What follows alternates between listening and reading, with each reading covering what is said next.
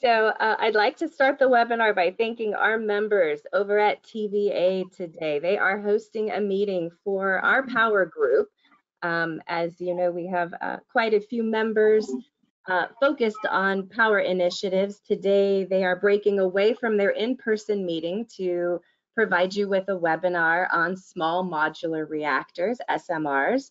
Um, I'm going to go ahead and kick it over to our host, Mike Dubrueil with PTAG. He will introduce our lineup of speakers and go ahead and share with you a bit today. We will have a Q&A session at the tail end of the presentation. Uh, we do have a Q&A panel that you'll see here in gray. Um, if you click the little box with the arrow, that will expand that section so you can type in a question and we'll go ahead and address that at the end. If for some reason we don't get to your question, we're happy to send you an email back in response. So again, we thank you for joining us live today in at TVA.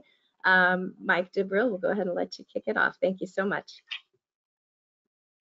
Well, thank you, Jenny, and uh, thank you, Rod Stanhope and TVA for hosting. We are sitting uh, here in a meeting room at the Kingston uh, Power Plant.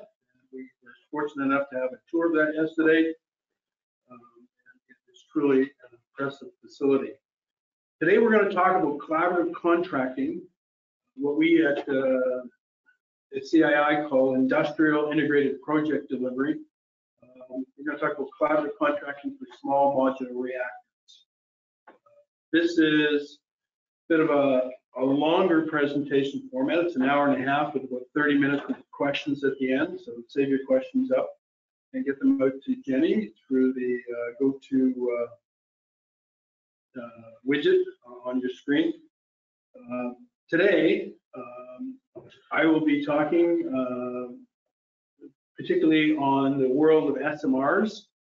Uh, Dr. Phil Barutha will be talking specifically on what industrial integrated project delivery is. We're not doing a deep dive here. The assumption is enough of you uh, understand the theory or have access to the theory of collaborative contracting, but he's going to talk to it uh, at a level that hopefully is enough for folks to understand the whole presentation. Uh, Bruce Burwell is going to wrap us up at the end. He's going to talk about how you would go about implementing and how we are implementing uh, collaborative contracting industrial IPD for uh, small modular reactors and, and, and how well that's going. Um, Cathy uh, is going to be speaking to us uh, with respect to the modularization CBA and some of the best practices that have come out of that. And then Rod uh, Stanhope is going to be speaking to us uh, with respect to nuclear here at TVA and why the SMR program. Uh, so that's your lineup of speakers. And with that, we will begin. So I many of us here in the room, and hopefully many of you on, on the webinar itself have heard this concept, energy in transition.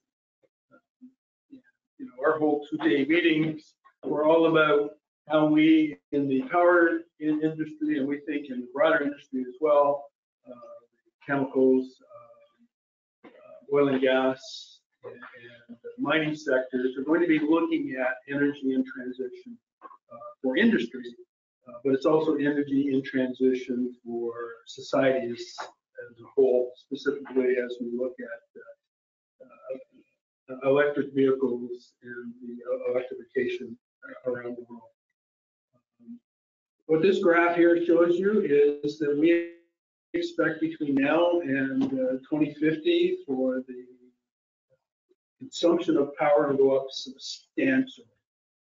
Uh, and, and the, one, one form in, of measurement is in BTUs, it's, it's, it's in the trillions of BTUs.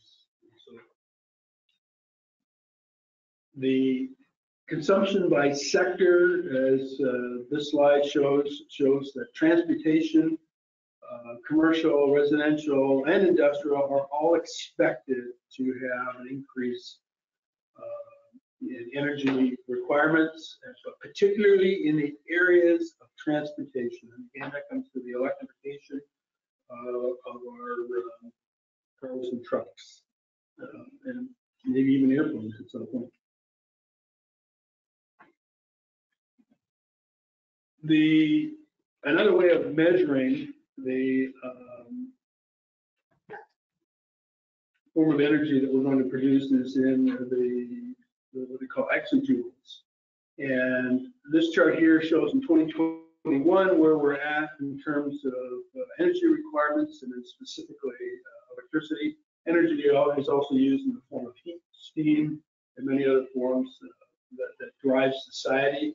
And you can see as you go from 2021 to 2050, the, we're looking at a significant increase. And in particular, we're looking at energy, electricity as a percentage of overall energy requirements going from 20% to roughly 30% by 2050 as we electrify our um, our uh, society. Um,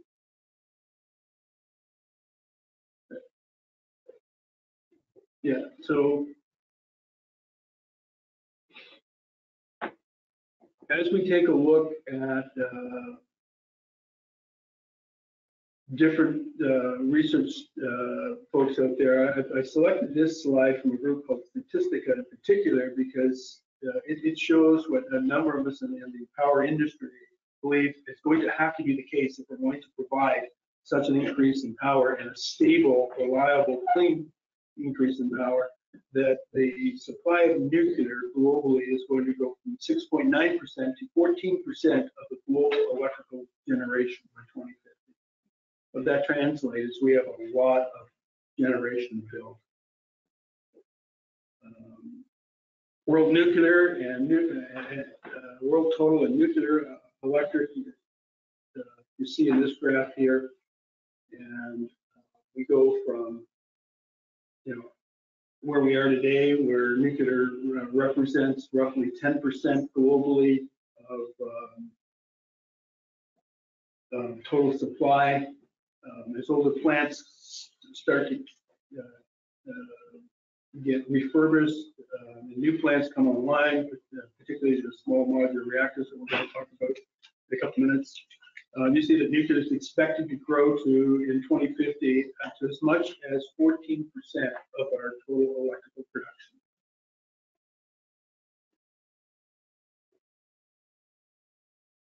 The price of electricity, as we add elec- electrification to the globe, to our, to this industry, society as a whole, the price uh, of electricity matters. And as you can see there uh, in that main chart, uh, nuclear is in and around uh, 10.1 cents uh, per kilowatt versus hydro at 6.1. And then you can see what the others are. So nuclear is uh, an, an affordable form of power supply, and that's nuclear as a whole. So why nuclear for net zero? For us to reach the carbon reduction goals that society has set for, for us, uh, why nuclear?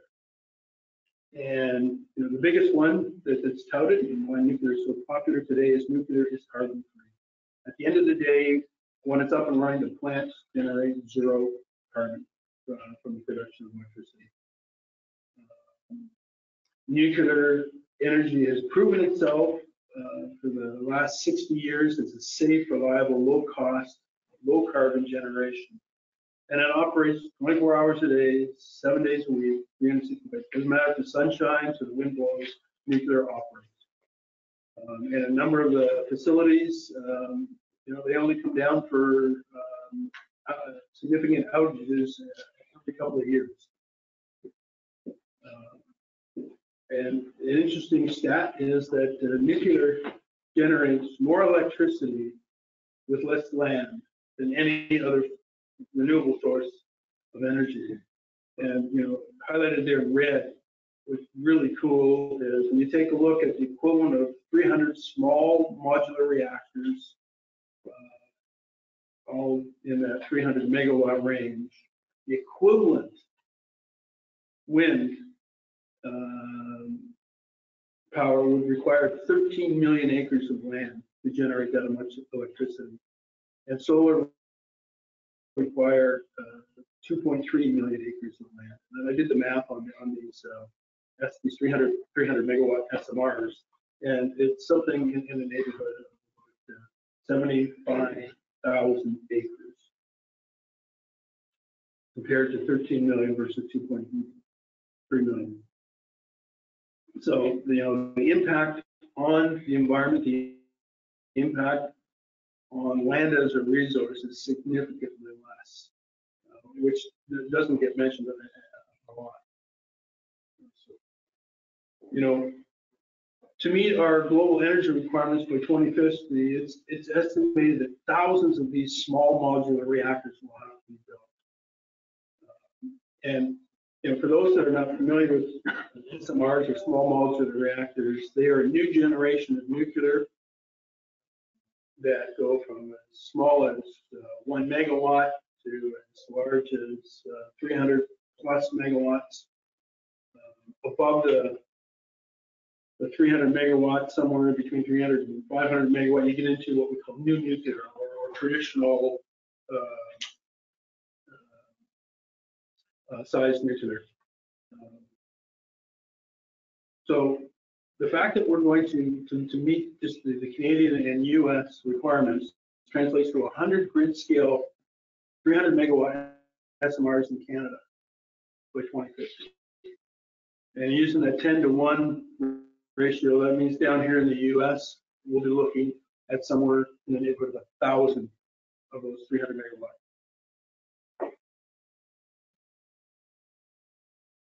So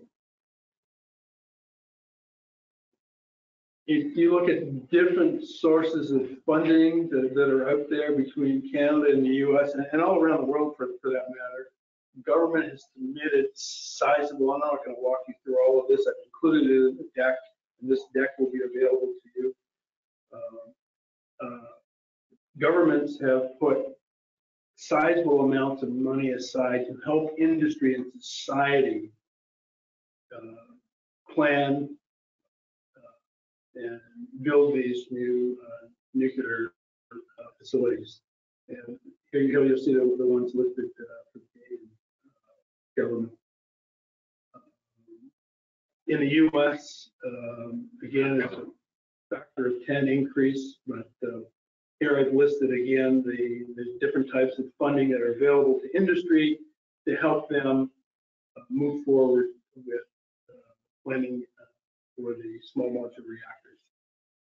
One thing about small modular reactors is it takes time.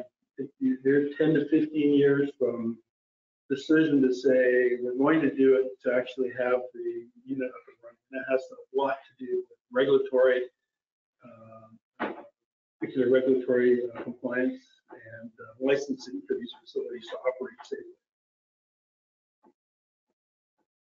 When you look out in the landscape right now, we are, as we've seen many times in my lifetime, uh, based on technology, we are in a race. We are in a race to see who, which technologies are going to come to the forefront. There are over 70 SMR designs right now across 17 countries, all vying for a piece of the market opportunity. Not all of them are going to make it. And uh, these charts are generally out there and available. Uh, I pulled this from a source again called Statistica. Um, the, the, list on the right that, that, lists all the various SMR technologies, where they're at, their various stages of development that comes from Wikipedia.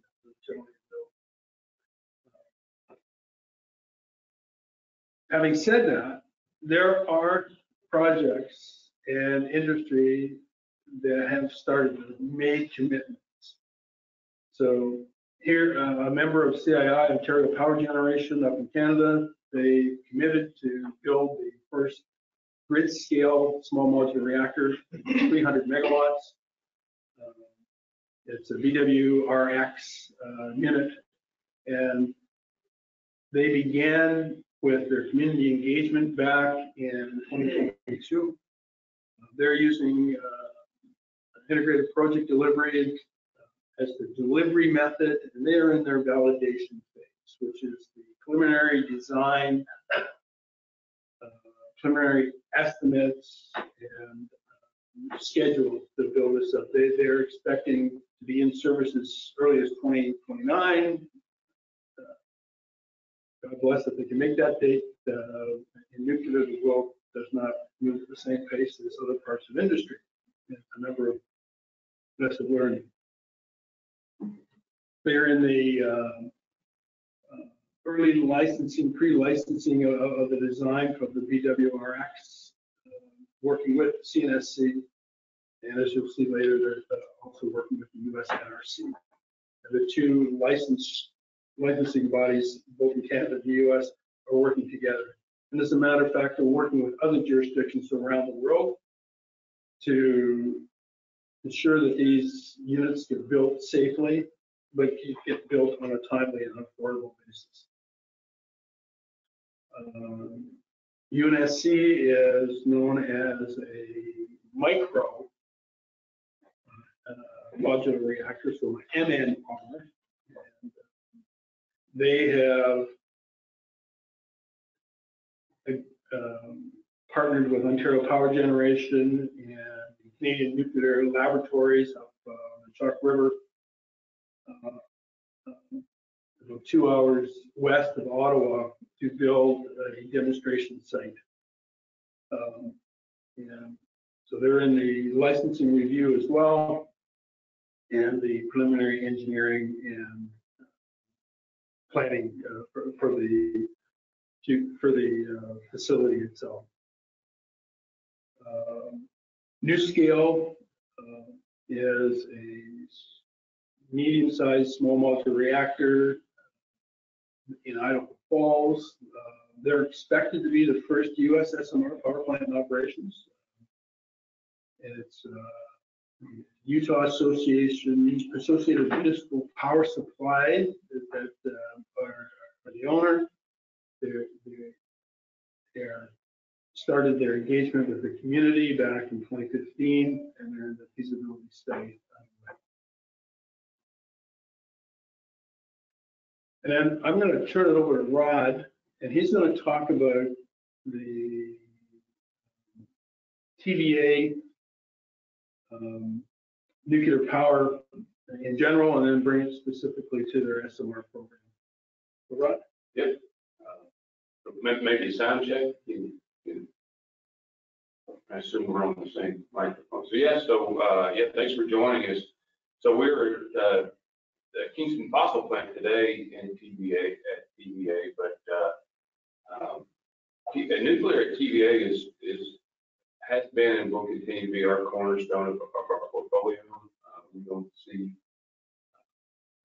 having the ability to, uh, serve our area, serve our region and, and uh, fulfill our mission without it. So we are owners and operators of nuclear facilities, we're constructors of nuclear, nuclear facilities, obviously, along with our, uh, our partners and uh, providers, but uh, it, it will be, uh, continue to be uh, the the cornerstone of our our portfolio. So uh, in order to, to meet our goals uh, of providing that dependable power, clean energy, that, that we'll have to continue to uh, find innovative ways to, to make that happen. So we, we do have uh,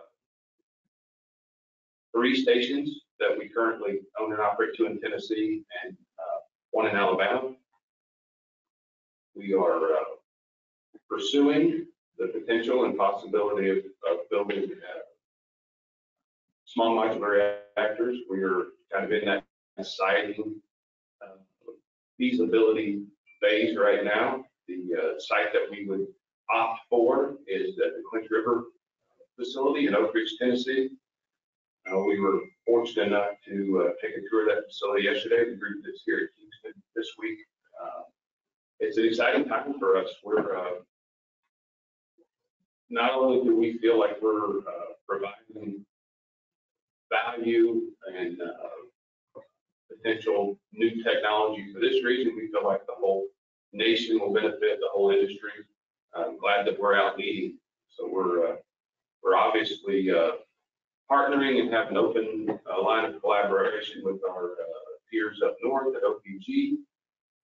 So they're a little bit further ahead, but uh, we're, we're taking that uh, and leveraging what they're learning and, and put it in place here, here as well. So um, we are also, as Michael had mentioned, we are utilizing the, uh, the contracting methodology of industrial integrated project delivery.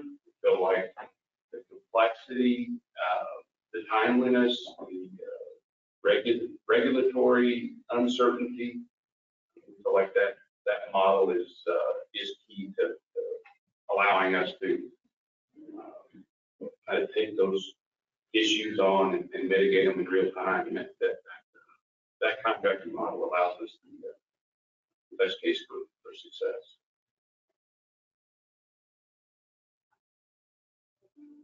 Thank you, Rod. Yeah, Is that, is that good? Yep. That- that Last thought, okay, thank you, Michael. Thank you. Um, Phil, are you on? I am. Can you all hear me? Okay. You can? Okay, great. Uh, good morning, everyone. Industrial Integrated Project Delivery, or I2PD. The original research was performed in, in we started the research project under RT 341, CII's RT 341 in, in 2016, investigating the applicability of integrated project delivery or more collaboration integration in the industrial project sector. Um, and we reported out our findings in, of 341 um, at the annual conference of 2018, and we recently had a subsequent follow-up study, RT 383, that was presented at the annual conference uh, last year, a year ago, August of, of, of 2022. Um, Industrial Integrated Project Delivery, or I2PD, essentially is an outcome-focused project delivery method and it it's defined by nine principles, which you can see in that Parthenon framework. Each of those pillars represent one of the nine principles that, have uh, balanced elements of collaboration and integration, um, and are supplemented by 22 implementation methods to help implement um, or support collaboration integration throughout the throughout the project. Um, and and really what the way we see I2PD is a comprehensive framework, and so you see the the terminology framework, um, or you could also think of it as a recipe of ingredients to achieve an environment and structure of collaboration that really creates this best for project decision making. Um, again, through these nine principles, 22 methods, and um, measured by a metric that was created in RT 341 was a CI index or collaboration and integration index that was created to help measure the amount of collaboration and integration that was used uh, on each of the industrial projects. Can you go to the next slide, please? Advance the slide. And and so the further so RT341 really was uh, the investigation was is there benefit to use of, of I2PD on on industrial projects or specifically benefit of collaboration integration on on industrial projects and and the the results of the findings of RT341 were resounding yes, there is extreme benefit um, to to incorporating more elements of collaboration integration as defined within the I2PD framework. Um, to the point where one, once a certain threshold of, of collaboration integration were achieved on the project, the, we really, out of our 85 projects that we investigated, there were no projects that were performed below average. Um, and many of them were well above average performance in the in the standard project performance metrics that would be used in the industrial sector. Um, and so our next question was, uh, there is benefit to to collaboration integration, extreme benefit. The next question is, what is a good fit project for industrial integrated project delivery? And and, and really, there's a deeper investigation um, performed in RT383, the subsequent research study that you're able to find in the knowledge base. And um, CII's knowledge base. And, and, what we had found on the, the subsequent study was, well, all, all candidates are, are appropriate candidates or could benefit from I2PD, but the projects that benefit the most that we were able to identify were projects with high levels of uncertainty. Um, and really, we look at uncertainty in industrial projects. We look at uncertainty either in the in the design phase or the design of these industrial projects, or in the in the construction um, portion or execution phase of the project. And so, really, projects that another way to look at that is a, is a projects that that uh, there's a there could be value for or an opportunity to increase design optimization or good candidates and or projects that that uh, have a lot of construction risk in the, in the execution phase of the project are also very good candidates for for this I2PD delivery. Um, we can advance this to the next slide, please. Um, and so we talked about some of the benefits, and really, really one of the key benefits that we see for I2PD is this increased certainty, or project performance certainty, or outcome certainty. And um, and again, this delivery method is an outcome-focused method, um, best for project decision making. Um, and, and really, that's what that's what enables um, this delivery method to really achieve that outcome certainty. Um, and really, we, found outcome certainty across the board across all the key metrics. Um, definitely significantly improved schedule and cost certainty that that was born in the data as well as uh, some of our preliminary findings in the longitudinal study as well. Um, and, and one of the, the other key elements is is uh, promotes optimum and faster designs with with achieving the same quality um, of designs and as well as um, facilitates that one team approach um, to adjust adapt to any changes that that the project may see throughout the, the course of delivery. Uh, could we go to the next slide please? And so just just talking about these are the the, the 20 22 20 23 methods um, um, that that are incorporated in the i2pd framework um, now we we are we are constantly assessing the, these methods and their applicability on industrial projects, and you can see these methods are are not are are not necessarily unique to I2PD or, or, or unique necessarily to the industrial sector. Now they all have application within the industrial sector. Many of these are already existing um, CII best practices that that are utilized. For example, front end planning is one, and some of these are also existing um, methods that are used in in in um, parallel sectors, commercial sector through lean construction. Um, and so many organizations are already familiar with with many of these methods. Now the word I2PD um, uh, separates itself is this these are, are, are these methods are packaged together with the various different principles and executed under that overall overall recipe um, to deliver this project on those high levels of collaboration and integration. Could we go to the next slide, please? And and this is just some guidance and and this this um this chart can be found in our RT383 implementation um, guidebook uh, report that was that was published um, earlier this year, and, and really this is just providing some guidance on on when um, that what project phase uh, each of these methods would would would could be implemented or have been implemented on industrial projects successfully and where the benefits are at each of these phases or stages throughout the project of, of utilizing these various different methods. And again, um, there, there's other information that's incorporated in the guidebook, and I and I, I, definitely would, would like to refer everyone to that CI knowledge base guidebook for um, any and all information on the implementation of IT, I2PD. I know Bruce is going to talk in more detail, but but they get, there's a published guidebook um, that is available along with a couple tools that were developed throughout the research for finding what is a good fit project as well as identifying what which which of these principles and methods um, could best be utilized on on your specific industrial project as well. There's a, a CI method selection tool um, available on the knowledge base as well. So with that, um, I, I appreciate your time this morning, and I'll I'll pass it over to Bruce for implementation. Okay, thanks, Phil. Um, so the next part of the presentation, we're going to take you through a little bit of CII um, best practices and how we're organized to promote and develop those best practices through what we call uh, uh, these CBA committees, the communities for business advancements, if I remember correctly, the acronym. So with that, I am going to turn it over to Cathy, and she's going to talk about uh, industrial modularization, uh, and that's our modularization CBA. She's going to talk about how that is a best practice works and how it's developed and um, why that's one of the practices that, that is used within collaborative contracting here at uh, CII. Cathy, Yeah.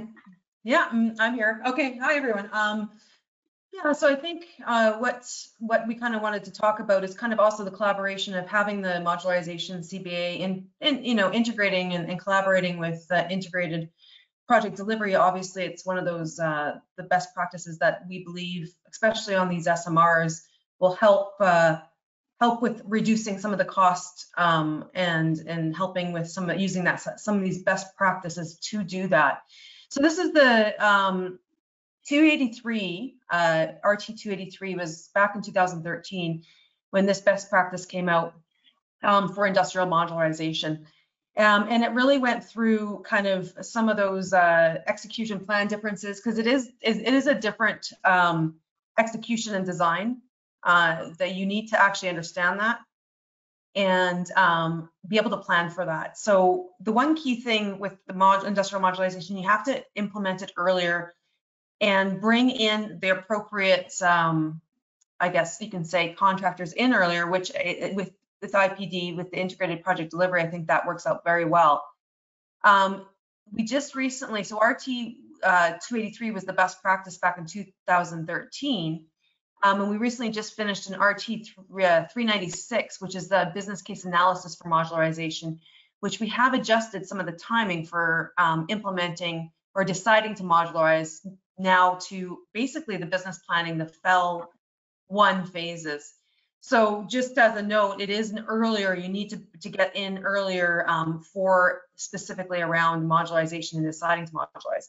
This uh, best practice also goes through some key success factors and um, some enablers. So it is a very good uh, CII best practice and, and the modularization CBA um, is actually really excited about the, the SMRs and, and being involved on, on how to better uh, to, to modularize and, and uh, how to better uh, maybe even reduce the plot area of these uh, SMRs to reduce the overall cost. Uh, next slide, Michael. This is just, uh, we had case studies in here for um, multiple projects um, and uh, how, what the reduced cost, the differential in cost was. Um, so this was back in 2013 and we've got even more case studies now. We've got even more projects that have been modularized both big mega projects and also smaller projects. So um, modularization has been used, is being utilized now more globally um, for different reasons. Back 2013, a lot of it had to do with, you know, labor productivity at site and, and trying to improve that. Now there's a lot more um, reasons um, and um, projects are looking at modularizing. A lot of it is to reduce costs, but also cost certainty, um, schedule certainty, those type of factors are coming into play now more and, and skilled labor, lack of skilled labor is also another one. Um, so with the industrial modularization, you saw one of those key points being standardization in um, that was a, a, key kind of, I guess, um, partner with modularization. It, it, goes hand in hand. Um, so I wanted to just talk about, so this is the key cost around modularization. I wanted to just bring up the next slide and talk a little bit about standardization because I we think that um, in, in a lot of our modularization CBI, uh, CBA members were participating in the facility standardization research that was, um, I think we finished in 2019. I, I hope, don't quote me on that. Uh, 2019, um, uh, the research that we presented at uh, the annual conference. And this is actually hand in hand with modularization. So uh, with the facility standardization, it's really um, now standardizing some of those modules, some of those components, which we also believe for those small scale uh, SMRs is going to be critical, obviously for, for regulatory and um, and helping uh, also reduce the cost, you know, for the, the, the programs, for the multiple ones that are coming into play. And so there is another research that um, I believe we called it UMM 001, and it was facility standardization um, uh, for, in, it was, we, we, focused on industrial projects, heavy industrial projects. And uh, we came up in here, we've also got some work processes, some business case analysis. um, and critical success factors. Now, this is another key that needs to be done earlier on. So, but both with modularization and standardization, you need to actually plan for this and implement it as early as possible on the project. So very key for, for these SMRs is to really look at um, implementing some of these processes and, and starting to plan for this um, early, as, as soon as possible, actually, if you're, if you're already in the planning phases. So just bringing to light um, some of these key uh, integration methods that I think are going to be very important to reduce the cost of these SMRs. The next slide, I believe we have some case studies also on, um, or some, I guess, metrics on what um, some of our case studies that we actually had in that research um, saved. So some of them was 25% uh, cost savings and, and 15% in schedule. Now, this was an average, and some of these were uh, fully modular and some of them, them weren't. So this cost savings sometimes didn't take into consideration um, the modularization aspect of it. But and the schedule savings um, was also an average. But this is something that's key, I think, also to um, to implement on on these SMRs. So at the last at the next page, uh, next slide, Michael, um, just to conclude. Um, so with the modularization CBA, we're, we're really uh, excited about um, being participating and helping trying to reduce this cost with both the modularization and standardization. Um, and you can kind of, uh, what we've been calling it, or something that's come into play, is called productization. and that's combination of the, the modularization and standardization. Um, so uh, these are, are some key, key, components and key planning uh, methods or integration methods that I'm, we're hoping to uh, implement on SMRs to reduce the overall cost and provide a little bit more cost and schedule certainty. So with that, um, that was a little introduction. Thank you. So hopefully, uh, that was good. Thank you, Cathy. Um, as uh, Dr. Phil talked about when he uh, looked at those 23 methods on a few slides back, uh, um, each of those methods, uh, modularization and standardization as one example, they explode out into a deep breadth of knowledge that has been developed through research and application and validation, some of which Cathy talked about. Um, to how effective these methods are. And what we found in the uh, industrial integrated project delivery is you bring enough of these methods together in that framework or in that recipe uh, metaphor that Phil used, uh, organized in the right way, you get a cumulative benefit from using all of these methods sequenced depending on which phase of the project you're on. So I'm going to talk about uh, uh, our next uh, CBA, which is the Supply Chain Management Group. Um, they do a number of things about uh, in the Supply Chain Management Group, aimed particularly at improving how on industrial projects we improve how owners and suppliers and contractors and equipment suppliers and engineers all work together uh, and improve how we work together regardless of the contract delivery model. Uh, but specifically, what we've been looking at uh, through the lens of integrated project delivery is how some of these best practices particularly apply to uh, large industrial projects that are being managed as collaborative uh, contracting um, projects. And so the one that we're going to talk about here today is, is, a concept called early supplier engagement. And you heard Cathy talk about it as well from a um, from a uh, modularization point of view. Uh, early supplier engagements on most projects, but in particularly on collaborative contracts where the conditions are set up, contracting conditions are set up to allow that to happen formally. Uh, brings to the table, you know, an old adage that uh, is out there that many hands make light work. And the graph on the right here kind of talks to those many hands coming together from an owner's point of view, a contractor's point of view, and a supplier's point of view.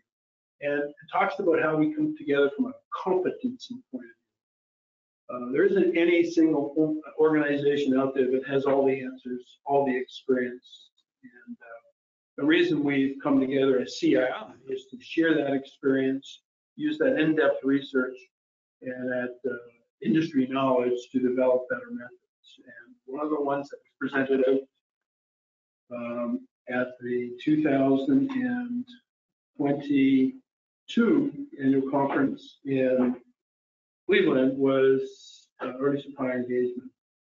And so the, the, the real benefit that this research shows, and uh, there's uh, and follow-on presentations and working groups, is that by bringing together those organizations with each of their core competencies early in a project uh, development phase, you get better decisions made early, which have downstream long-term effects on the project.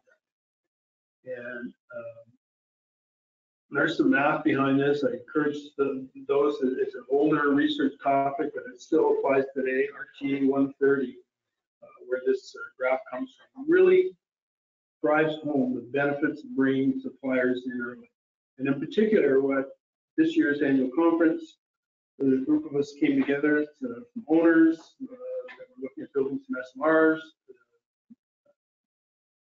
suppliers, uh, one in particular in the, the uh, uh, piping area, another in concrete area, and the third in, in the small uh, hand tools area. And in a brainstorming session over the course of two hours, we came up with four or five ideas in an informal setting on how we think we as an industry could improve the impact of, and the time it takes to plan and develop these SMRs. If we're going to hit those numbers, having an, an annual or having a, an average delivery time from start to finish that's in that 10 to 15 year range is just not going to cut the mustard. So we're not going to get there. And as those of us that are here locally uh, in uh, at TVA on, on, on an outing, we were fortunate enough to see the, the, the Clinch River site where the new SMRs for TVA are going to be built. But right next door, within 15 minutes, is uh, the Manhattan project. Uh, and that was the World War II effort to uh, develop nuclear weapons. And then, um, what they were able to do in two years to complete, and the scale in which they were able to do it in two years tells us that we as uh, smart, intelligent people with all the technologies and methods available today, we should be able to bring that duration down from 10 to 15 years. We're going to have to be producing multiple of these units and have them go live by 2030, 2031. Uh, and that the, the, the graph to, to hit the uh, density levels that we need for these new small modular reactors uh, is you know almost almost uh, vertical. So um, it's through early supplier engagement that we bring these ideas to the table um, and look for ways to bring down the cost and the schedule. So that's uh, supply chain management, and it's a focus group we have here at CII. Um, and this is an example of some of their research. Uh, the other one I want to talk to today, and, and, and I think we have nine CBAs, and given the time and the, the, the breadth of the topic here today, we focused on three. The other one that, that really becomes important is the uh, quality management CBA. Uh, our quality management CBA takes a look at the quality management methods, programs, um, they come together as a group and discuss that and how these things get applied and get improved on out in um, our industrial project. And in particular, uh, one of the uh, research topics that they developed is there's best practices in quality management for capital facilities. Um, and uh, I encourage anybody that is looking to improve how they do quality management out there to take a look at that uh, research document as a starting point. But specific to the nuclear world, and nuclear, like oil and gas, like mining minerals, everybody thinks that what they need is and, to do is unique to them and is more stringent than anywhere else. Uh, And having had the, the fortune in my career to work, to work across uh, most industries, um, while some industries take longer to get there, the elements are a lot of the same, but the, spe- the specifics of, of these quality management pro, uh, programs are deep and detailed. And it takes time to learn how to apply a quality management pro, uh, program in the nuclear world, uh, which is different in, in the fossil fuels, the hydro generation world, or the mining world, or the oil and gas world. Um, the nuclear uh, quality management programs, as you see on the right there, uh, it's out there, it's published. It, it, it's it's it's formulaic, but it takes time and effort. It takes it's a journey. It's a journey that takes about a year from the time you as an organization say, we want to work in the nuclear world, we want to be qualified in the nuclear world. So we're part of that qualification is to develop a quality assurance program for your particular nuclear work, whether you're a manufacturer, an engineer, or a constructor. And then not only does it take time to develop that, but depending on the size of your organization, it takes even longer to implement that throughout your whole organization. The whole management of change uh, exercise comes in. And so, you know, sitting here in 2023, knowing we've got to build all these small modular reactors and, and new nuclear reactors as well, uh, out to 2050, we have time to get our supply chain qualified and trained uh, under the specifics of uh, nuclear management quality requirements. And so what I've listed here um, is uh, some of the U.S. Um, uh, standards that, that you as an organization will have to meet.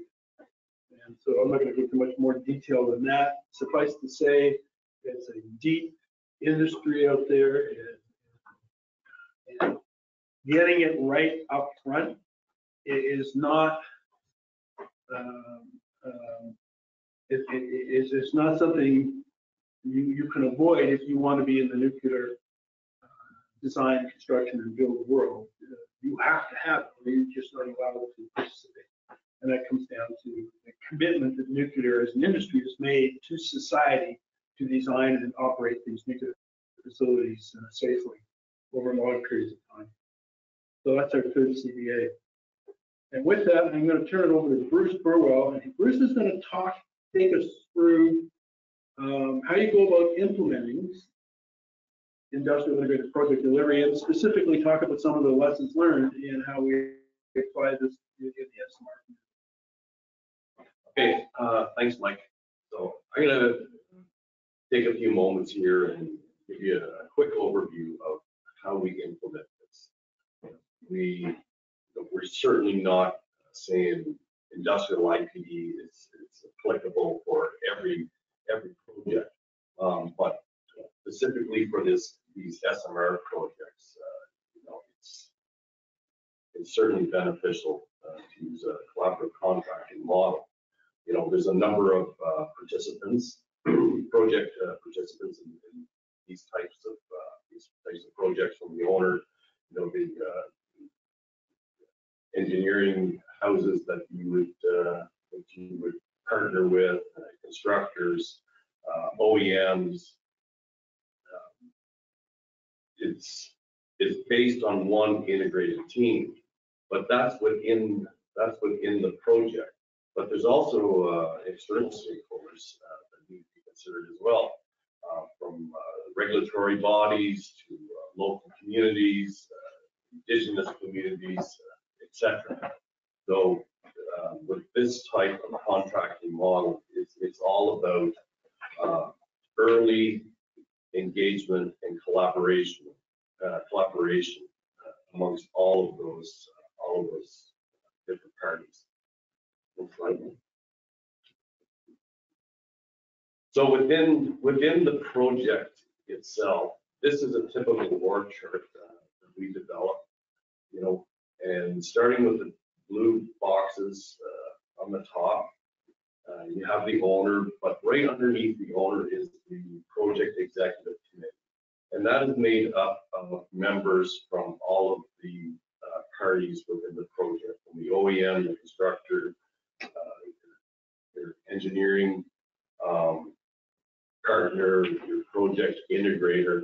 Um, These folks are, are providing oversight in, in the project.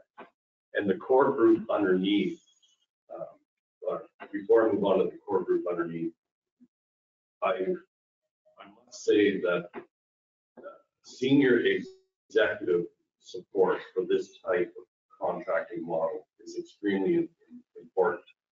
Um, We've, we've witnessed uh, a couple of projects uh, in the recent past where the project team started down using this type of contracting model.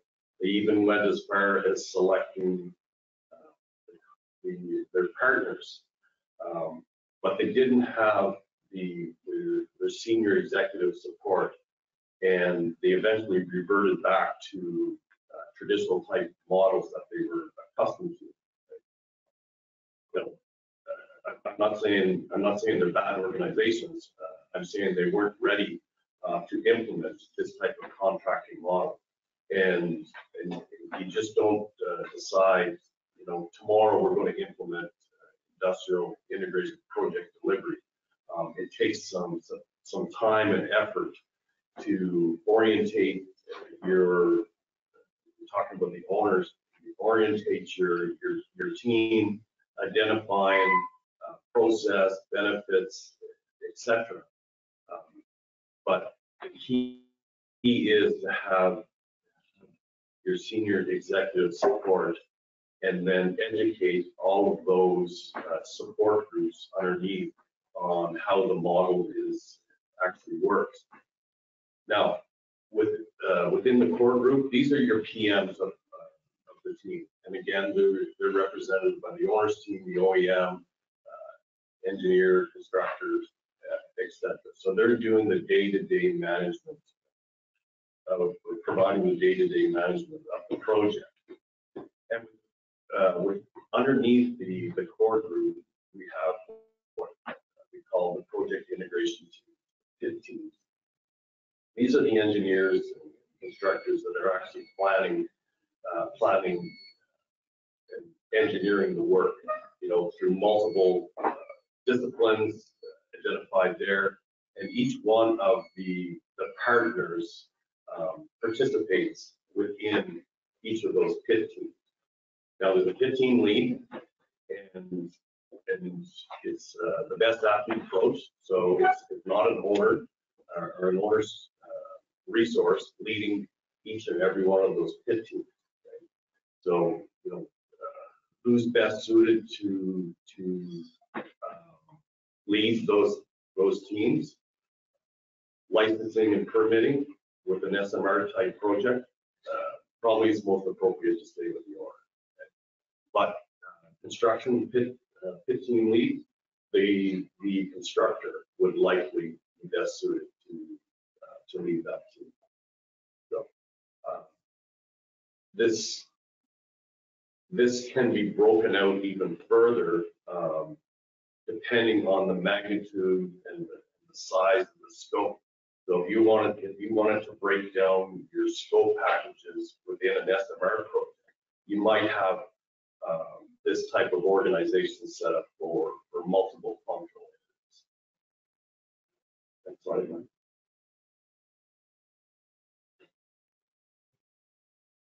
So this slide is showing uh, the, the typical phases.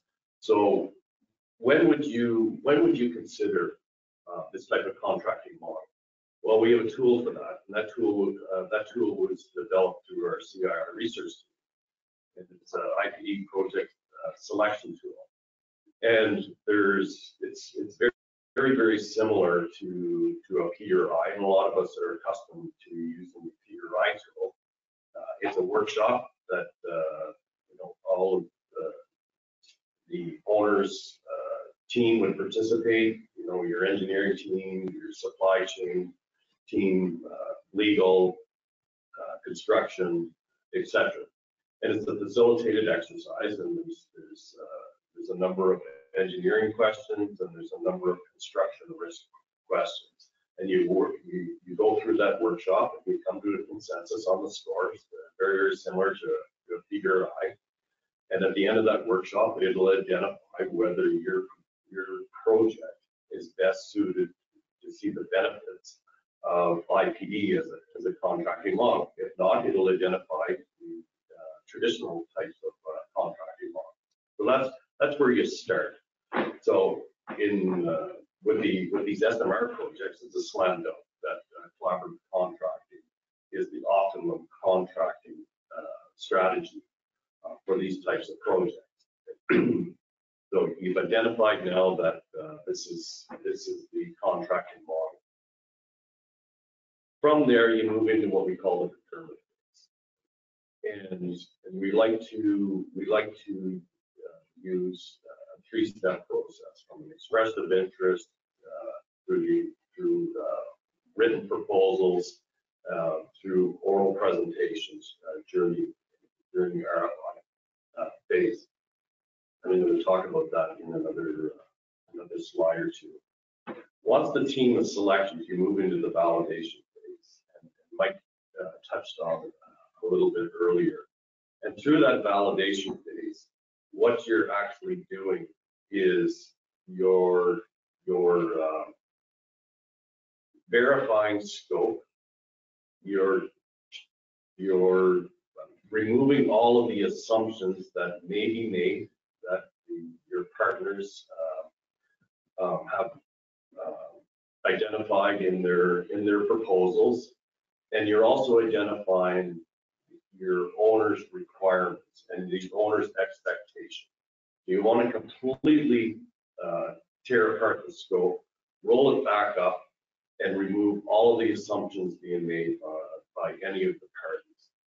From there, you're developing your integrated risk plan, your integrated schedule, your integrated, uh, your integrated estimate, um, your risk reward plan, and all your preliminary construction. Once, once there's enough design completed during that validation phase, um, you start the negotiation of your multi-party agreement.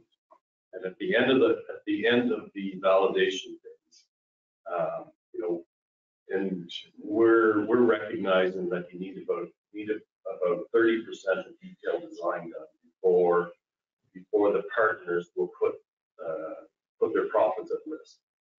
At that time, they'll sign on to the multi-party agreement. From there, you move into the pre-construction phase. So pre-construction phase, you're finalizing all of the all of the preliminary plans that you had started uh, during the validation phase. You may be doing some early procurements, uh, long lead items, uh, et cetera. And at that point, you're, you, you could, uh, you know, add scope, remove scope, transfer scope, you know, uh, amongst the parties. Uh, We've seen that. Um, We've seen, you know, uh, on the owner, I'm speaking from the owner side, we, uh, we have expectations of who uh, would be best suited for scope. But through the validation and pre-construction phase, uh, sometimes it's been identified that, hey, um, contractor A or contractor B, you're, you're much better uh, suited to execute that scope or, or to be responsible for those procurement packages, uh. So all of those, all of those preliminary uh, designs are finalized, all the preliminary planning is, is finalized during that pre-construction. And then you move into execution, and in this case, uh, you know, execution is going to take uh, X amount of years for these SMRs. Um, But commissioning and closeout, commissioning would be started back in the validation phase. The, the commissioning activities for these, these SMRs, you know, that's going to be an extremely lengthy process. you know, 12 months, 14 months, et cetera. The planning from that commissioning phase uh, would start early on during the, during that validation phase. Next slide. And with this, I'll, I'll turn it back over to Mike uh, to wrap things up before we move into this. Yeah. So when we started this presentation off, uh, and I went through it fairly quickly, um, we talked about the decision by society around the world to change the way it produces energy. We are moving to electricity at an increasing rate. Um, And not only are we moving to electricity at an increasing rate for an existing demand, the demand for electricity is going up at an increasing rate. And that's all to meet societal's goal to, to get to net zero by 2050. And there's lots of debate around that whole topic.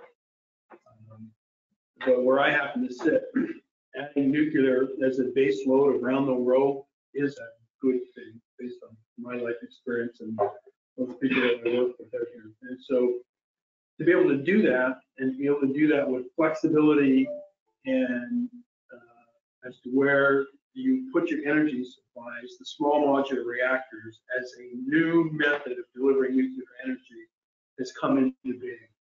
And it's a reality.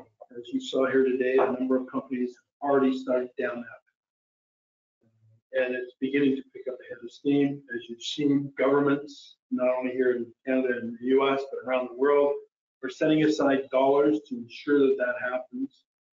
There's a lot of work that has to happen in industry to get ready for that. We need to improve our transmission grids, our distribution grids, and our uh, distribution capabilities out into the local gas station or the local home, where uh, some of these new technologies like EVs will will sit. And so, once you make that leap of faith that SMRs are going to be and the, the volumes of SMRs that we're going to need to, to meet our energy requirements uh, is beyond anything we have ever seen as a global society. Then you have to take a look about the, the you have to kind of figure out how you're going to get there.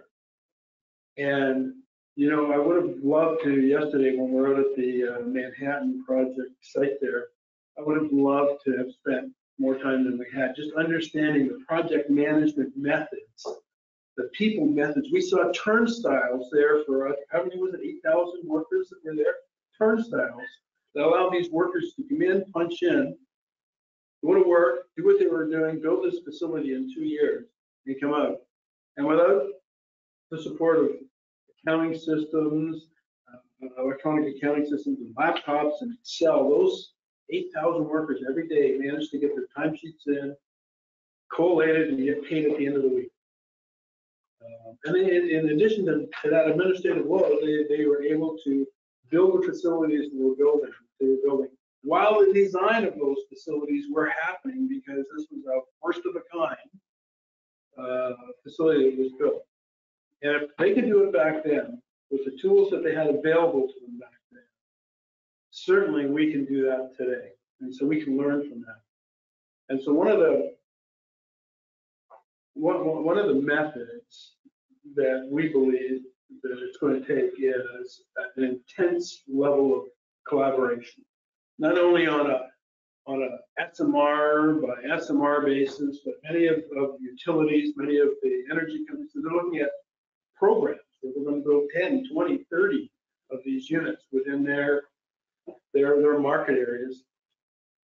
And so there is an opportunity to improve the way we build things in the industrial world and, and, and take some lessons from history and also take some lessons for some of the more future looking folks. And you take a, a look at Elon Musk and one of his gigafac, gigafactories.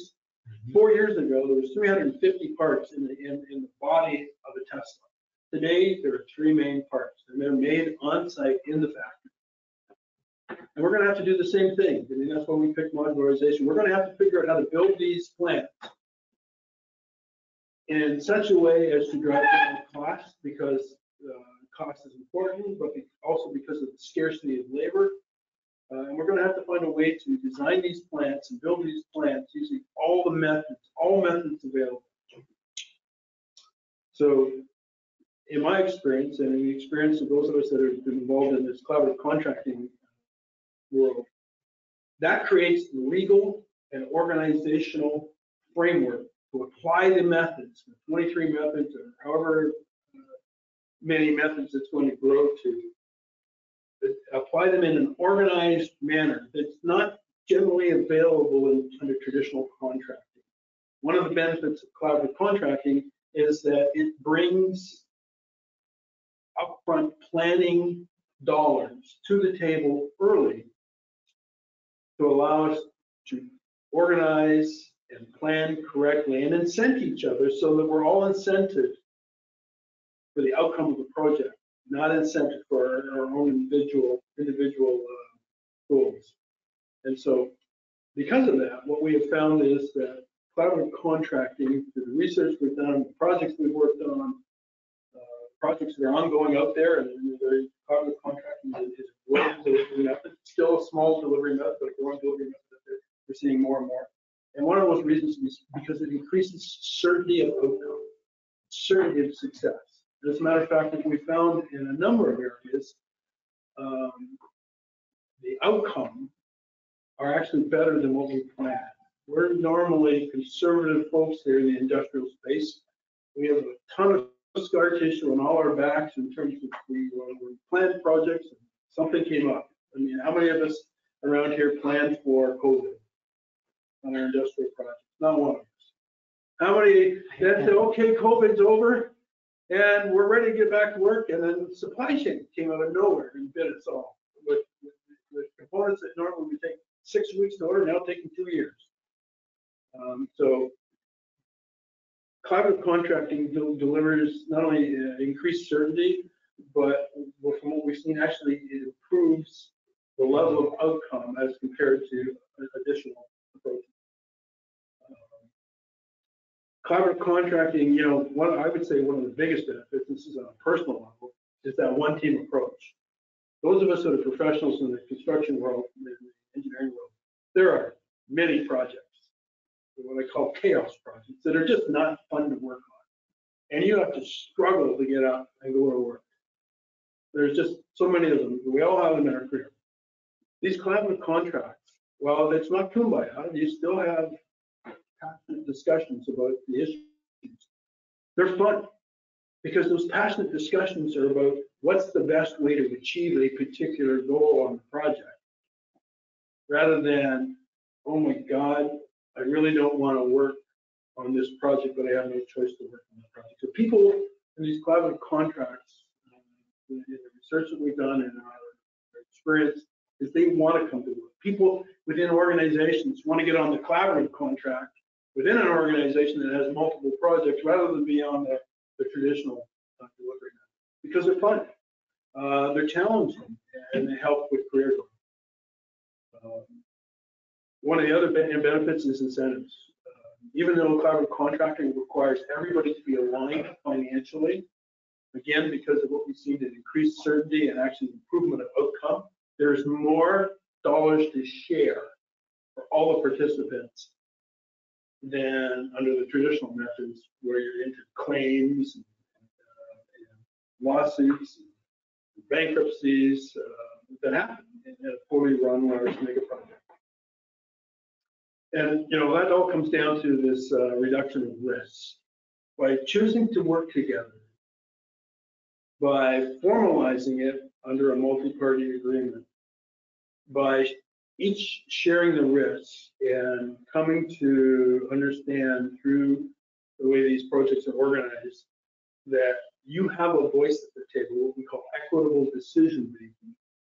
What you learn is it's not just about your voice, it's about you hearing from your colleagues around the table, uh, given their specific disciplines. You get to hear their good ideas. What you find under this delivery method is that more often than not, the best idea rises to the top. And when the best idea rises to the top consistently, day in and day out, the risk on a project for all parties is significantly reduced. And with that, Jenny, we're going to turn it back to you and open the floor for questions. Yes, sir. Okay. I will advise you to handle this one delicately, Mike. Is I2PD a better framework than advanced work packaging when used early in the project? Um, They are actually two different things. So advanced work packaging is one of the 23 methods. It's actually, if go back to the slide, it's the number one method there. And it's one of the 23 methods that uh, I2PD suggests be used on these big industrial projects. Um, AWP is, sorry, AWP, advanced work packaging, is used in conjunction with other methods. And as you combine these other methods, there was a conference a couple weeks ago uh, down in Houston where we actually looked at combining advanced work packaging, lean man, lean management technique, construction techniques, and the uh, uh, project production management techniques. And through the framework created by industrial project delivery, the participants get to actually plan out and organize how you're going to use these different methods and where you're going to use these different methods, and where the handoff is from one method to the next method as you go from phase to phase to phase. Anybody else want to add? Yeah, I'll, I'll add to that. You know, the, you know, industrial integrated project delivery, I would say is, is the band that holds all of the methods together, including AWP. So the contracting model, you know, is, is the overarching framework and the holder, um, and of, of the methods that should be uh, implemented through the different phases or the different uh, phases of the life cycle of the project. AWP and I2PD is, is, is two different, uh, two different topics here. But the contract holds it all together and the implementation of the methods um, is, is, is then decided amongst the, amongst the team, the, the one team or or the partners, um, including AWP. And that's just one of them. Fair enough. Thank you, guys. Okay, our next question is, um, how can you apply this to water and wastewater treatment facilities? Well, I, I think it starts with the uh, project selection tool that I, that I mentioned. you know. And there's certain criteria with that, with that project selection tool. You know, uh, minimum 50 million, and you got, and you gotta have three or more stakeholders.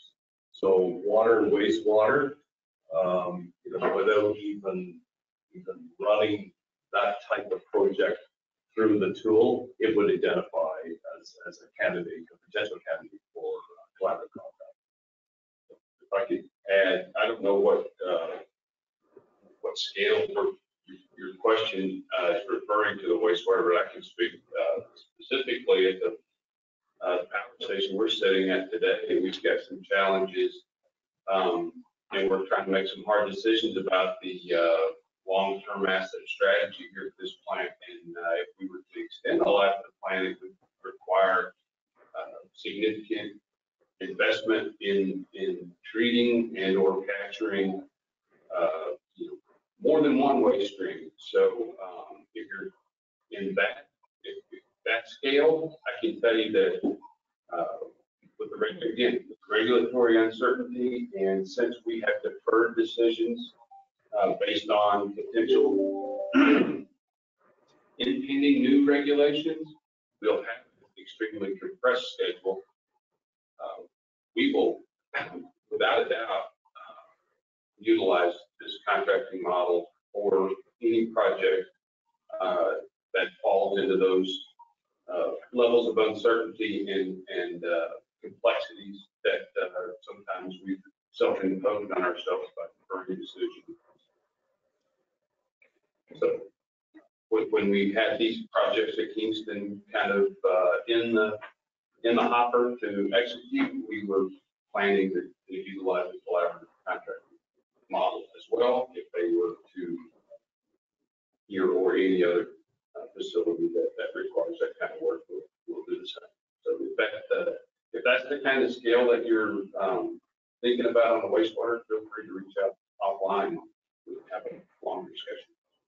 Thanks, And Rod. so the other thing, so just to add to that, so wastewater and water come in many different forms, right? And so if you think about a wastewater or water from a linear project point of view, maybe you're doing a new uh, supply line um, into your city, um, or maybe you're upgrading your local municipality's wastewater treatment so that you don't have the storm runoff contaminating your uh, local water supplies and ecosystems. Those projects, again, to the same point as Rod, those projects are complex. There's a number of stakeholders involved. There's a number of regulatory requirements and and government organizations that have uh, an interest in various aspects of those projects. And again, starting with what- Bruce talked about, when you take a look at design uh, uncertainties and construction uncertainties, and run that type of project through the, uh, the selection tool, project selection tool, it'll spit out a level of complexity that will help inform whether your project, your particular project uh, should be run as a collaborative contract project or should be run under a more traditional method. Okay, our next question is a little long. Um, they're wondering what contracting methods could prevent possibly a contractor who might be contributing ideas during the early engagement that initially appear to be value adding, but in fact add risk to the owner's project, thereby enabling scope growth uh, at improved profit margins. Yeah, that's interesting. Uh, So I will tell you that uh, transparency is a key principle, right? In, in collaborative contracting, and honesty is another key principle. Uh, So when you're in a room with your peers around the table, you've got smart engineers, smart experienced constructors, experienced OEMs, experienced uh, owner uh, participants. That type of a concept rarely survives first engagement, right? Um, and it's a great personal risk that you as a participant that would try and raise a strategy that's in your self-interest.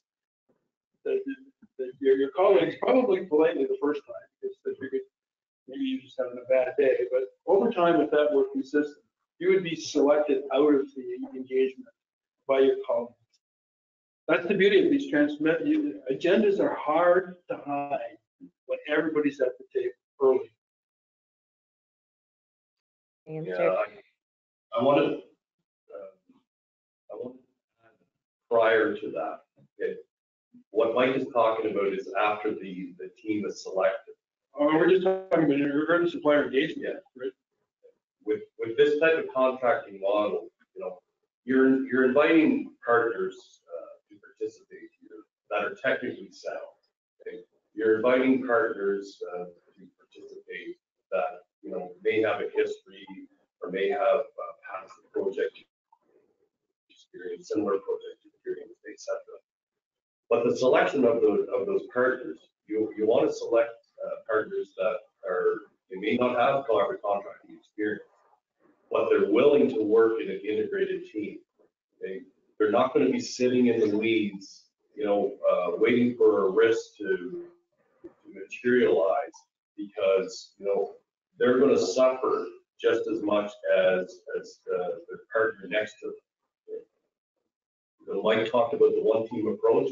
You want to select, you want to select partners that are going to work within an integrated team and be open and transparent and, and bring ideas to the table early, early on versus, you know, once the, once the project uh, is in execution and if, if an issue arises, well, you're going to have to work through that issue, uh, you know, collaboratively uh, together, or else, you know, there's, uh, there's a potential there of drawing down contingency. And the whole goal is to preserve the contingency because that is the risk reward uh, for the, uh, for the team.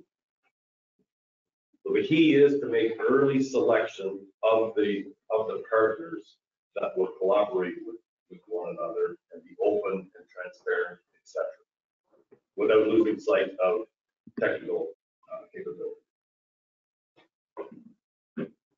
Okay, our next question is, do you have any data available that actually validates the cost benefit of IPD? We do. Um, We have it from a number of sources, and and Dr. Barutha, you jump in as well. Um, You know, industrial IPD is the merger of commercial IPD with what we call infrastructure alliancing, because it brings the- that new, this new framework brings the- together the elements of risk, um, or sorry, of design optimization to find in the commercial world, construction and risk mitigation that you find in the infrastructure world, and bring those together. And that's part of the foundation. So the very first pure play I2PD project was launched by uh, Ontario Power Generation in 2018. We have now built, rebuilt, it's, it's a refurbishment project. We have rebuilt uh, two out of eight units. The First unit happened during COVID, so we got hit with the COVID schedule impact. Um, But despite COVID, that first unit still came in under budget. Despite the delays, the schedule delays, the team came together. And it goes back to what Bruce talked about, the, the desire, the fundamental desire to manage and maintain that contingency pool and pool and not waste it was there. And they came in thirteen percent under budget. The second unit, the second unit there, um, was outside of COVID, but now we're in, they were into this uh, supply chain uh, disruption. And so things that normally would take four to six to eight weeks to order and have delivered were take in uh, 12 week or 12 months in some cases. And again, not only did they improve on schedule despite the supply chain issues, they came in a week early, still a week early. They again further reduced the, the cost of that project by another 14%. So those are two very specific examples. And Phil, maybe you want to jump in and talk about some of the extrapolation we did on um, the other methods. He may not be here, he may be back in class, but, so when we looked at putting this, these methods together, out in the commercial world, there's lots of studies and examples that show that uh, it improves uh, design and schedule, and same with the alliancing world. Uh, There's one study, I'm gonna forget the name of the study, but it's in the uh, original presentation. 324 projects were looked at. Uh, Christchurch, New Zealand. well, that was, that was a a different, but this is 324 projects that were looked at. They all came consistently and under budget and under schedule. I think the cost savings were in the neighborhood of seven percent on average, and the schedule savings were around two and a half percent. With one exception, one out of 324 projects didn't meet those improved needs. The rest all came in under schedule. So the, the data's out there, and uh, through CII and the original research, uh, we point to that data. Okay.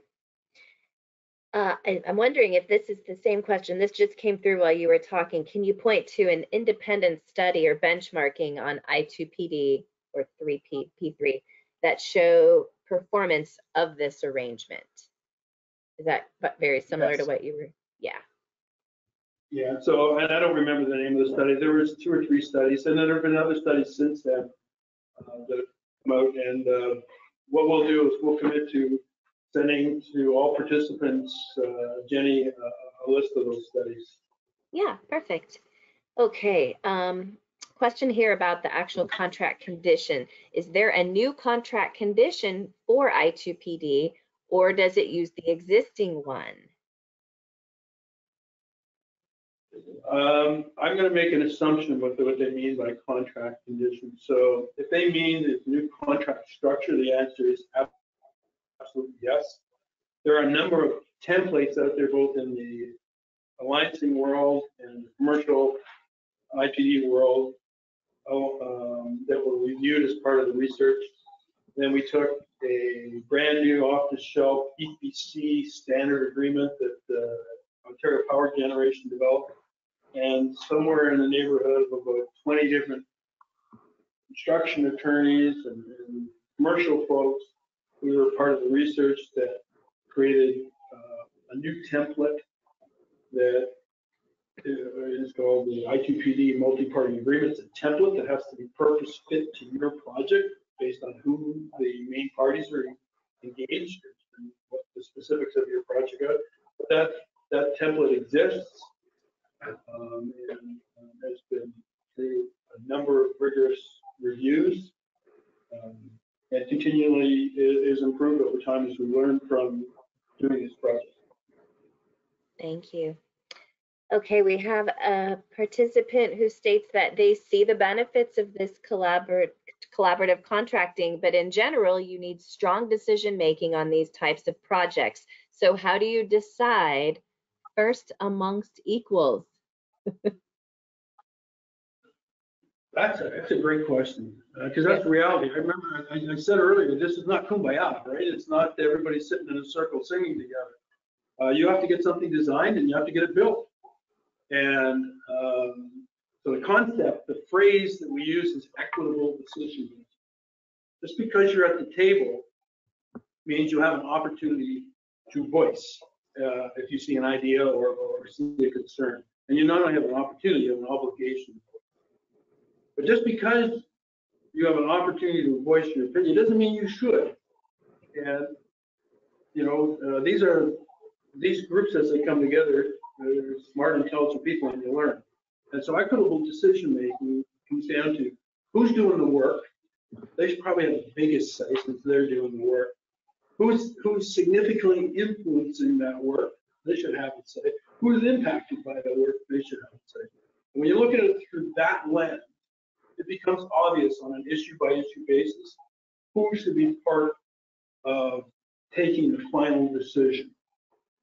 And just as I, you know, this is a, something you learn as a, as a parent, um, in the end of the day, the person doing the work gets the final say.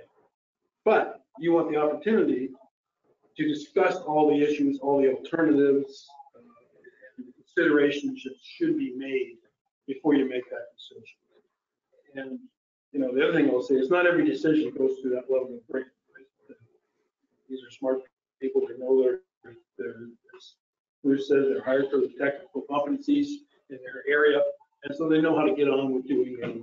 And it's at the interface points when you see this type of equitable decision that can really come into its own. Best, best for project.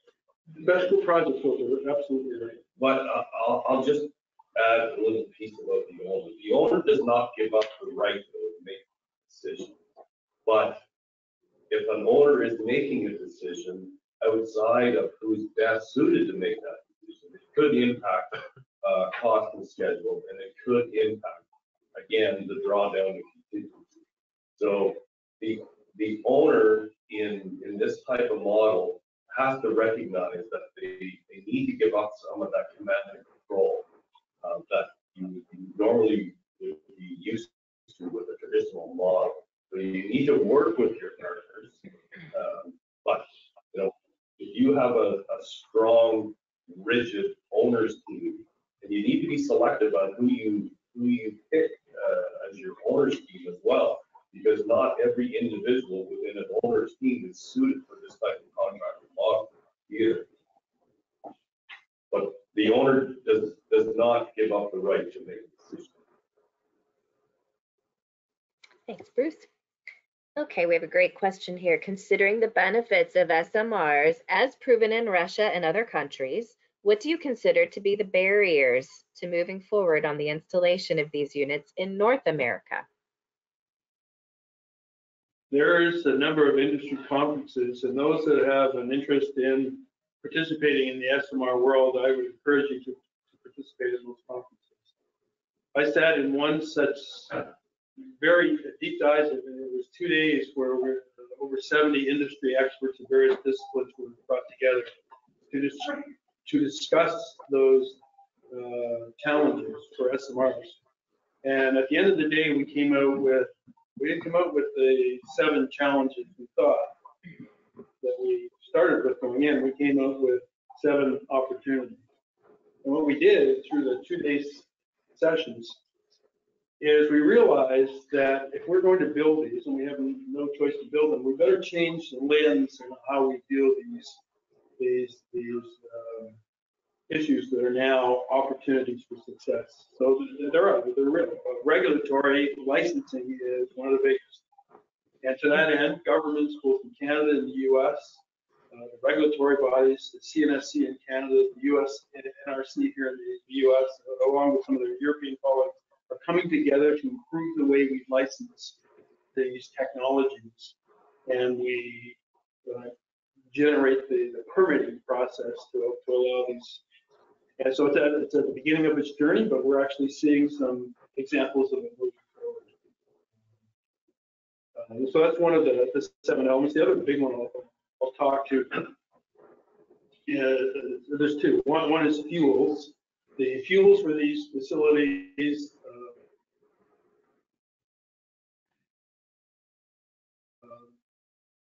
is not generally available. The- the- the HALEU and blue fuel technologies, uh, there's not enough capacity in the world today to build what's necessary. And it takes us long to license the fuel generation and upgrading capabilities uh, as it does to get a a plant design built. So that work is underway, and if you've been paying attention, you've started to see some announcements about where North America is looking to increase the- its ability to provide the fuels. And so out of that seven, the other, the last one I'll talk about is, um, is craft labor. Um, You hear it everywhere. We heard it earlier today in the discussion. Craft labor is going to be a challenge. Benefit of taking this method, and the benefit you heard with the modularization, and the benefit of the new tools and technology is it's fun to work in these projects.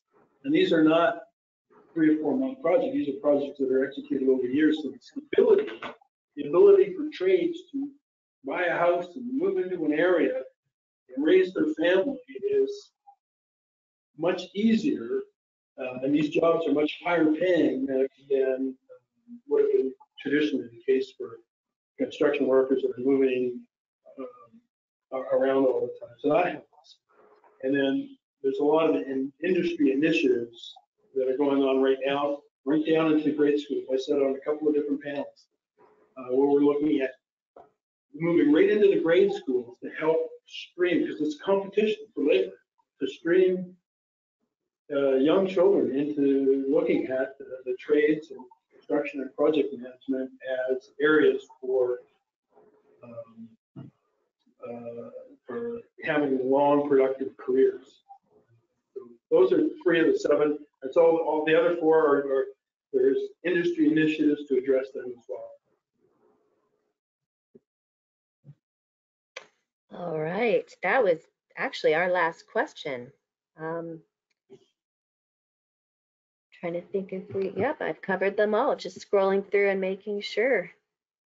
Fantastic. Well, if, do you gentlemen have anything to add before we wrap? Uh, Suffice to say, if anybody has a question that they think about and they get it into Jenny, um, we will, as a group, we will uh, create a, a set of answers to these questions. Um, We are really going to need everybody that's on this call and, and it's like, you know, uh, invite 10 friends and then have them go invite 10 friends. If we're going to address this opportunity uh, to improve the way we generate electricity around the world uh, over the next 20, 30 years. And and it won't be most of us in this room doing that. Most of us uh, won't be here. Um, We need to uh, expand this out into the market. um, and Raise the visibility that this new form of energy uh, is going to provide to us. Um, And this new form of collaborative contracting is going to make working on these projects uh, both fun and profitable for all. So thank you, Jenny, and thank you, all of you that have joined us here today. Yeah, great content. Thank you for, and of course, now we've got a couple more last minute questions. I think the FOMO set in. Do you guys have a moment? I'll go ahead and read them off. Um, so one person asked if you could please repeat the I2PD guideline or the guidebook. Where can they find that? Um, On the CII website, Uh, The guidebook is there, it's published under RT 383. And we will provide, in our response back to uh, the written response to some of these questions, we'll, we'll, we'll uh, provide a, a direct link to that. And if you're a member of CII, it's available to you at no cost. And if you're not a member, well, we, Jenny and myself and several others would love to talk to you about becoming a member. Um, Otherwise, it's available for purchase. Wonderful. I do have one more question, but before we depart, I'll note, because there were a couple of questions about this presentation. Yes, I do have the slides. I'm happy to send them out to all of those who registered. Um, we will render this video, edit it, and post it on the CII website.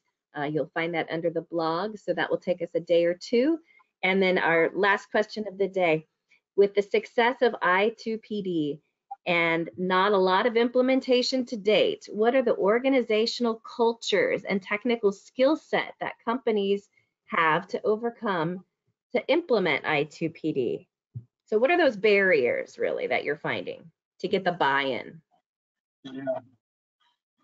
So um, I'm going to turn this to Bruce in a second. Uh, Bruce, when he was starting on this journey with Ontario Power Generation, asked his executives, do you like the way our projects are going today using traditional methods? I'll let him, I'll let him finish that story. Um, But the, it, it, it's really, it takes a commitment at the top. The, the biggest barrier is, uh, I hate to say it, but it's the middle management ranks in large organizations. They're designed to deliver what they do today well and to prevent change. They're purposely put into those positions to prevent change. And so this is a change. This affects your supply chain, your legal, construction, your project management, your engineering. This affects a lot of the company. It affects finance. Uh, you know. So getting that executive leadership in to align that middle management group within large organizations is probably the single most critical factor that we have seen over these last five years as a critical factor for success. And Bruce, I'll let you tell your story. Yeah, sure. So, so when I asked her, how satisfied he was with our planning and execution of our projects, his response was generally. And I said, well, you must be happy because we keep doing the same thing over and over. So, you know, identified, identified uh, the models, the benefits, uh, but it took, it took some, uh, you know, trust to, to implement and try this type of, uh, of contracting model within, within our organization.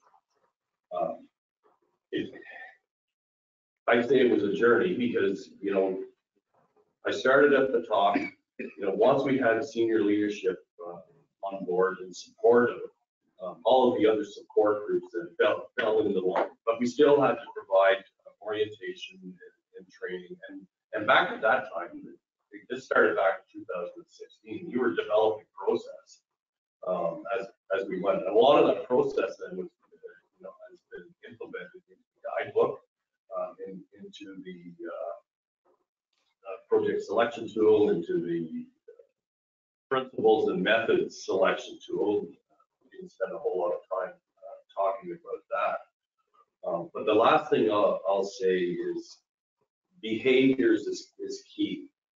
And you, you got to identify and target individuals uh, on your team that have the appropriate behaviors for this type of model. When I selected my project manager, she had been with me for less than a year. Um, but she had, uh, you know, did she have the technical background of, of, for this facility and this particular project? No, she had zero, zero.